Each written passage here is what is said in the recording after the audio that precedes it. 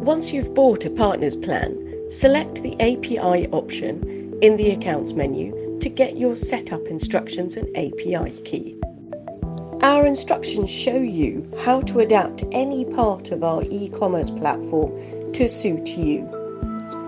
For Oracle, we've made it as simple as clicking Get App on the Oracle Cloud Marketplace and logging into your Oracle Cloud account, choosing a compartment, typically the root compartment, that your data will remain localized in, accepting the T's and C's, and clicking Launch Stack.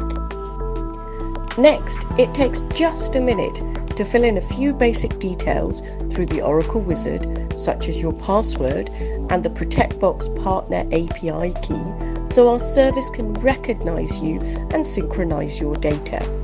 Then click Create. You can adapt a range of payment and email types to match your own providers.